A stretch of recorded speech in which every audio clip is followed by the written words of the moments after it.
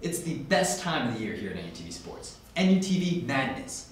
All 64 members of NUTV come together and compete in this huge tournament and all sorts of wacky competitions to see who is the number one best member of NUTV. And right now, we're down to our final two.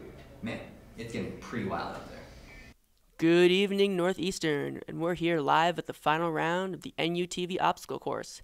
It's the last competition, and in one corner we have Emil Groover measuring in at 5'10 and ready to get down and dirty. He was able to beat Wyatt by a close victory in the three legged tripod race.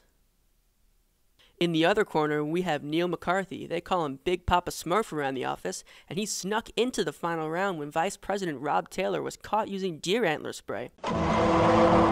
This is it, mano e mano. Who will win? If Neil wins, my bracket's fucked.